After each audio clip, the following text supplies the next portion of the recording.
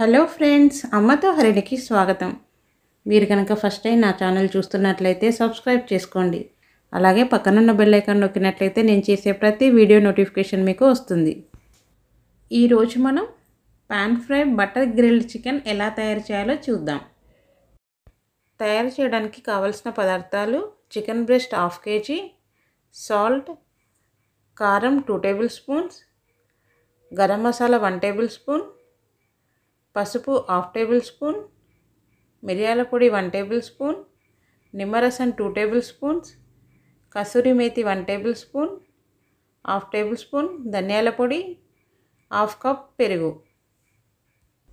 Chicken breast పీస్లను తీసుకొని ఇలా ఘాట్లుగా పెట్టుకోవాలి. ఇలా పెట్టడం వల్ల మనం పెట్టే మసాలా అంతా లోపల వరకు వెళ్ళి చికెన్ అనేది బాగా టేస్టీగా అవుతుంది.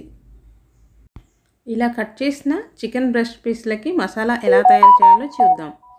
ఒక బౌల్ తీసుకొని కారం ఉప్పు గరం మసాలా మిరియాల పొడి పసుపు కసూరి మేతి కొత్తిమీర నిమ్మరసం పెరుగు.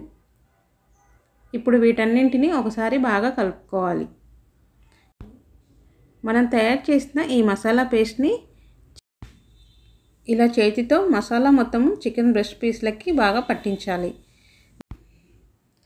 ఇలా పూర్తిగా మసాలా పట్టించిన తర్వాత ఒక అర్ధగంట పాటు ఫ్రిడ్జ్లో పెట్టాలి. ఇలా పెట్టడం వల్ల చికెన్కి మనం అంటించిన మసాలా మొత్తము బాగా పడుతుంది. స్టవ్ పైన ప్యాన్ పెట్టి త్రీ టేబుల్ స్పూన్స్ బటర్ వేసుకోవాలి. బటర్ కరిగిన తర్వాత మనం తయారు చేసి పెట్టుకున్న చికెన్ని పెట్టుకోవాలి.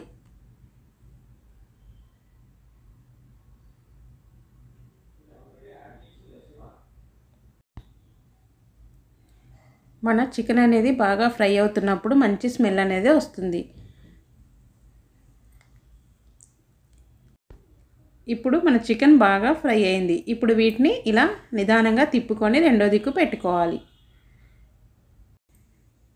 బటర్ మొత్తం చికెన్కి పట్టి చికెన్ సాఫ్ట్ అయ్యేంత వరకు ఫ్రై చేసుకోవాలి. చూసారు కదా మన బటర్ గ్రిల్ చికెన్ రెడీ అయిపోయింది. ఇప్పుడు దీన్ని ఒక సర్వింగ్ ప్లేట్లోకి తీసుకుందాం. చికెన్ అనేది సాఫ్ట్గా జ్యూసీగా చాలా టేస్టీగా ఉంటుంది. చూడగానే తినాలనిపించే పాన్ ఫ్రై బటర్ గ్రిల్ చికెన్ని ఓవెన్ లేకుండానే ప్యాన్లోనే ఈ బటర్ గ్రిల్ చికెన్ని ఇలా తయారు చేసుకోవచ్చు. మీరు కూడా ట్రై చేసి ఎలా వచ్చిందో కామెంట్స్లో నాకు తెలియజేయండి. మీకు ఈ వీడియో నచ్చినట్లయితే లైక్ చేయండి షేర్ చేయండి. అలాగే మరిన్ని ఇంట్రెస్టింగ్ రెసిపీస్ కోసం అమ్మతో హరిణి ఛానల్ని సబ్స్క్రైబ్ చేసుకోండి. Thank you